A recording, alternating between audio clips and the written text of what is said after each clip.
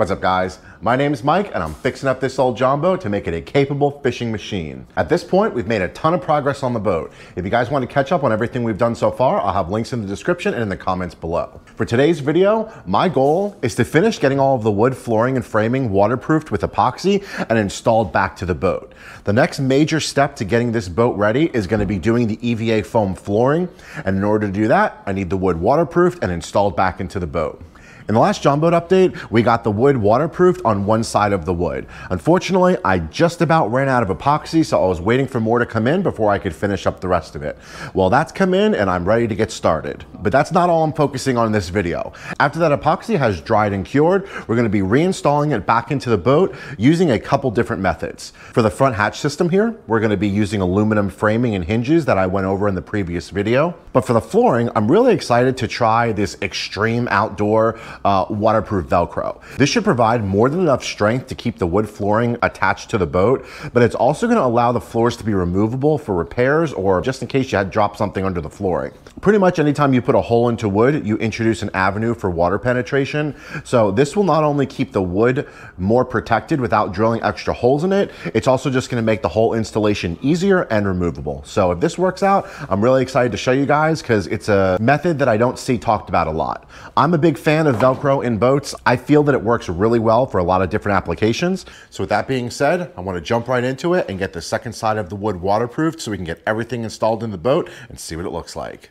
Now again, we're gonna be using the Better Boat Clear Epoxy. If you guys are looking for more direct information on how to apply this epoxy, I have some dedicated videos that go over the step-by-step -step process on not only mixing, but how to measure it up in smaller quantities so you can work with just the amount that you need. Um, I'll throw some links in the description and I'll have a card up in the corner that you can click on if you wanna jump right to that video. Check out the specifics on how to apply epoxy. All right, so we're starting off with 300 grams of resin. So that means we're gonna need 240 grams of hardener. Hopefully this container is big enough. All right, so same deal. I'm gonna spread it out um, as I pour it and then smooth it out with the brush. At that point, it'll self-level real well and we'll be good to keep going. Honestly, this is coming out really, really good. This whole uh, idea I had for the top hinge cover and everything, I'm already getting ideas for the next build. Speaking of the next build, I think I'm gonna be looking for a welded 1448 and just go ham on making the most killer one to two person fishing boat build. I am really excited for that one. Uh, this build is just for fun. Once this is complete, I'm gonna be selling it. So if anyone is interested in this build, you know, feel free to start hitting me up. It'll be ready in a couple weeks. All right, so that worked out really well. I didn't even need to use all the epoxy I had mixed up. Now we just gotta let this cure. Let's go ahead and hit the next piece. The one thing I really like about using epoxy as opposed to other uh, waterproofers, such as like an oil-based waterproofer, is that this fills in any imperfections in the plywood. Like for example, there's a nice good chunk of chip out of the corner here, just came like that. There was a big knot on the other side. This will seep into and fill all of those holes and also reinforce any weak spots. And what I'm using specifically is called tabletop epoxy. If you ever been to a bar or a restaurant that has wooden tables, and they're all glossed over, that's what they use on them. So as you can imagine, things like that, they're meant to hold up to the rigors of uh, a restaurant use, specifically water and liquids and things like that. So you already know that the waterproofing is built right into it. Not to mention just the wear and tear of people, which is exactly the kind of uh, environment your, your floors are gonna see on a boat. But if you guys have found other things that worked really well for you, I'd love to hear it in the comments. I'm always looking for new ideas, especially ones that are affordable. Um, I don't always like to use my entire budget on things like this. I'd rather save it for a better engine or better electronics. So yeah, let me know what you guys think. All right, board number two down. Okay, now just the final board. I'm gonna go ahead and get this last one done. I think you guys have seen me apply enough epoxy, so I'm gonna go ahead and kill the camera here, get this all done, and we'll check back in the morning once everything's complete. I just want to show you guys real quick. That's how much I ended up having for epoxy. I got every piece done in that corner. I needed just a little bit more to finish off the rest of that one piece of wood. That's what held me up. Oh, that's so frustrating. I was so close to finishing it. All right, we'll check back in the morning. All right, well, we are back out here the next day and everything is looking absolutely perfect.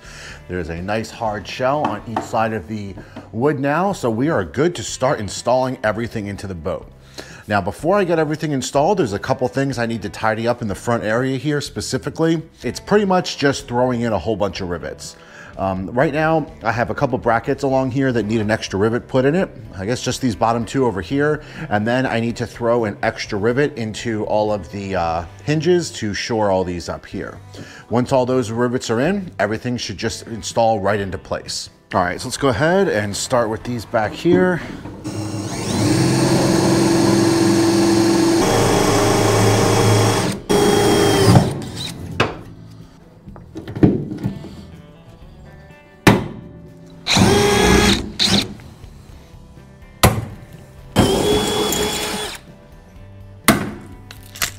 Right, and now the other side.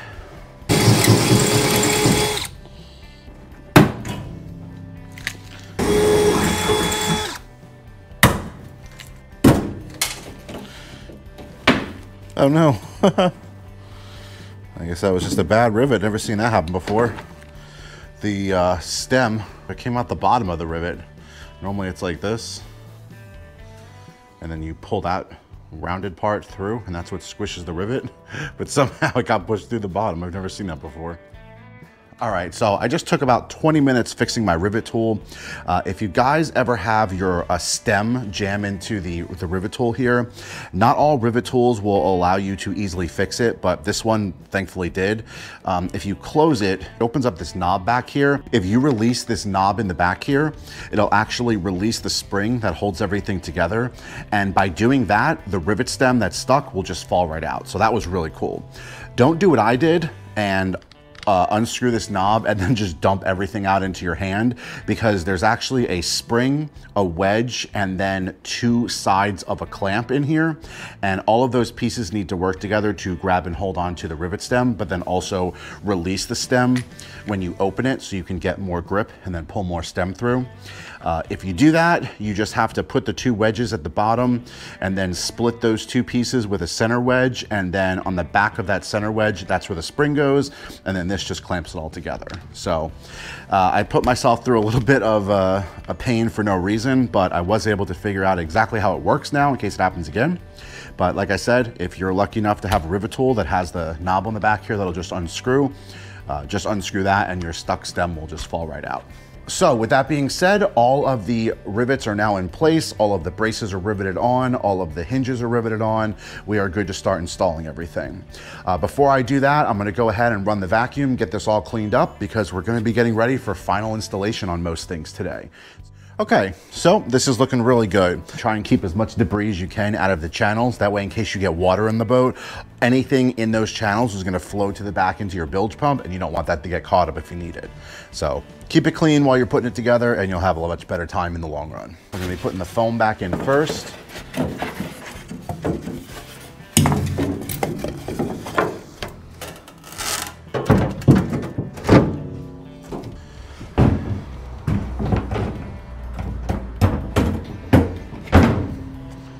Okay, that's still fitting really well. Got this all sorted out here. Floor looks good. Everything here looks good. First thing I want to get mounted is this front cover board. Uh, then I'll be able to take the bottom board uh, in and out as needed, but at least now I know this is exactly where it needs to be. I'm gonna tie everything together and then we'll go from there. All right, now for screws, I specifically went with these stainless steel, uh, they're called truss head screws. These are used for doing sheet metal uh, for like roofs and things like that. But I thought these would be a really good option because I like how flat the heads are. This will make putting the EVA foam on top of them really well. They're not gonna stick up as much as a traditional, like a pan head screw. You can see these are a lot thinner and also they're self-tapping.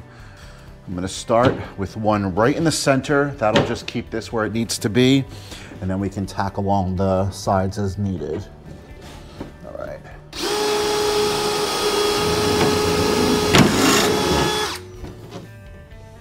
the first screw going in.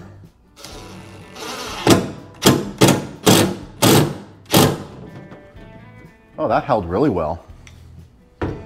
Yeah, that held really well. That centers the board, keeps everything in place. Now we can go ahead and just keep uh, drilling out our holes and installing the extra supports. Yep, already that firmed it right up. That's absolutely perfect. Awesome. I'm gonna run through and put in about uh, one, two, three, four, a couple more screws here. And then uh, after that, I will start installing the top cover board.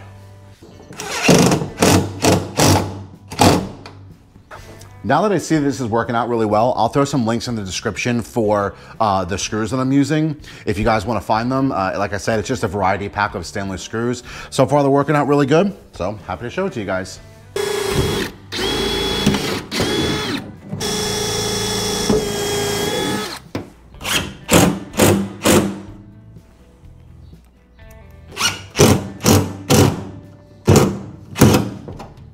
Okay, that is feeling really solid now. The screws really don't poke through that much. I'd say maybe eighth of an inch or so. So I'm not too worried about um, anything like getting snagged or caught on it because it's well below uh, this lip here. So that's really nice too. Okay, so I think what I'm gonna do is use these truss screws instead of the little ones that came with the uh, hinges. Those little screws can rust out. I didn't like those screws. Now the old screw holes are still into uh, the wood here, even though it's been epoxied over. There's a, basically a starter hole. So that should get us pretty lined up.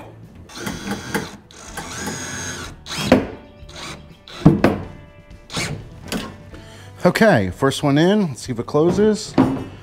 Oh yeah, that's perfect. Let's get this side on. And that'll at least line everything up.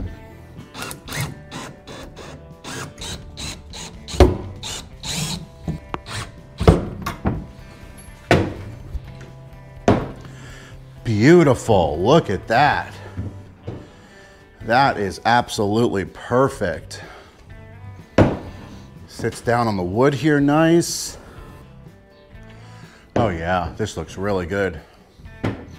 Okay, well, that is now done.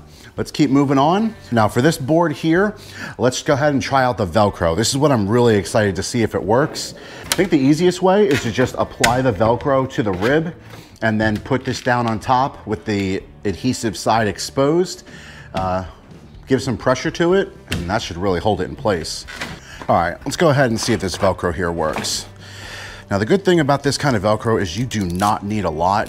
Let's say maybe about 10 inches worth.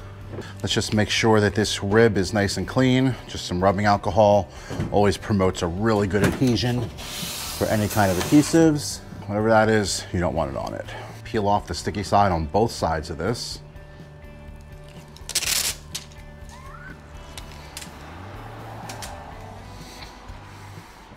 Okay, now apply this right to the rib, right in the center.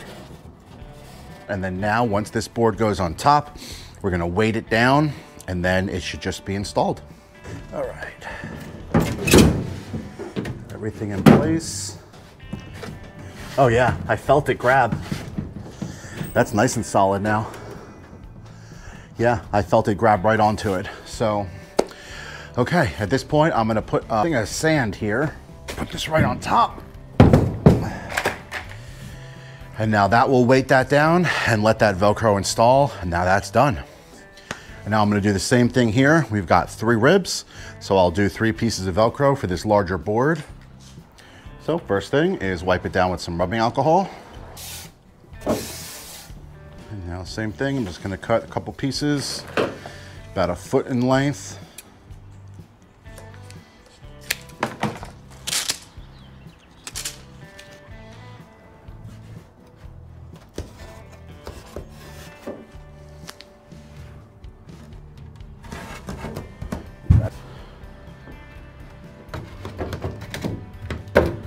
All right, let's get the last board in. Perfect. Yeah, it's it's holding it. See how it's bending? Let me see if I can show this to you guys. If you look at the wood, like right here, and then remember the Velcro is up here, it's bending the wood, but the center part isn't bending because it's so secured. That's perfect. Now, when I go through and install all the EVA foam, everything is locked in place. I'll be able to lift this up and out. As a matter of fact, I might be taking the wood out to install the foam. So that will be able to test out uh, just how well this is for removability. So that'll be cool to do too. All right, I'm gonna go ahead and get everything cleaned up and we can see how everything's starting to look.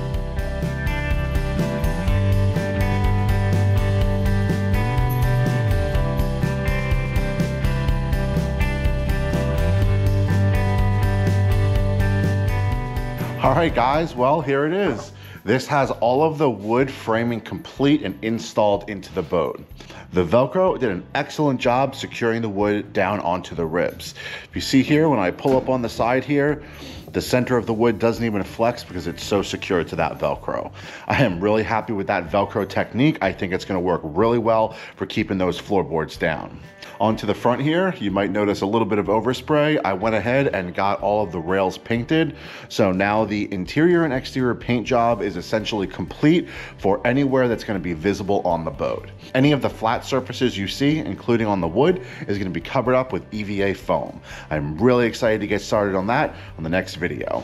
Onto the storage hatch here. This is now fully installed. You can see the screws and how nice and flush they sit along the front here. I also went ahead and put a layer of paint on the back side of the uh, hatch lid here just to kind of clean this up.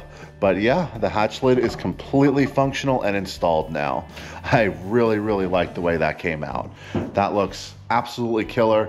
It is gonna work really, really well and provide a ton of storage. Now that this is complete, the next step is gonna be EVA foam flooring. And for that, I actually already have it with me here. Show you guys a little sneak peek of what it's gonna look like. I went with a uh, basically a light gray with black stripes. I think that that's gonna really match the accents of the boat really well. The gray is a little bit lighter gray than the color of the boat. I went with that on purpose. I didn't want it to be completely color matched because you're never gonna get the color exactly right. That way it's gonna be like a nice light gray on top of a darker gray boat. I think the contrast is gonna work really well with everything and the black lines is just gonna tie everything together. Once I get that installed, then it's gonna be on to rigging and we have a lot of cool things I'm gonna be doing to this boat. The two big ones is we gotta put those plates back on the center benches here and figure out a seating solution. I wanted to do some pole seats again, uh, the swivel ones. Those were really comfortable in the last boat. Up front, we gotta figure out our anchor and trolling motor system. In the back, we gotta figure out our motor system. That's gonna be real fun coming up soon. Um, but overall, there's still a ton to do, so I'm really excited to get started on it. Like I said, if you guys have any questions or comments, don't forget to leave them in the description. I'll have links to all the products I used during this video and throughout this whole uh, waterproofing and wood installation, so you guys can find them if you need them. All right, guys, thanks for watching.